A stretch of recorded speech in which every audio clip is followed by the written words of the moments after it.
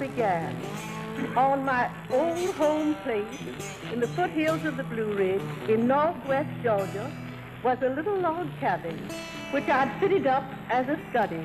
I'd hoped to become a writer. Sitting in this cabin on a Sunday afternoon reading, I heard the voices of children coming down from the hillside. I called them in and I asked them what they did on Sundays and they said nothing. And so I told them to come back and bring their brothers and sisters. Well, they came and not only brought their brothers and sisters, but babies and dogs. And this little cabin was a beehive of humanity.